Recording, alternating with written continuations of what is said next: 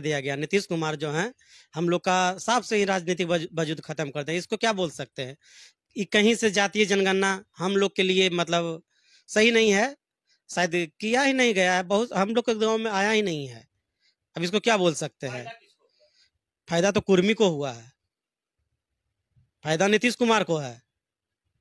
वो तो चाह ही रहे थे कि कम से कम हम अपने से नीचे रखे धानों को ताकि वो मेरे साथ रहे। तो ऐसा होने वाला नहीं ना है। हम लोग अपना भी जनगणना करवाएँगे। हम लोग भी पंचायत स्तर पर वार्ड स्तर पर जाके हम लोग भी देखेंगे ना कि हम लोग का कितना आबादी है।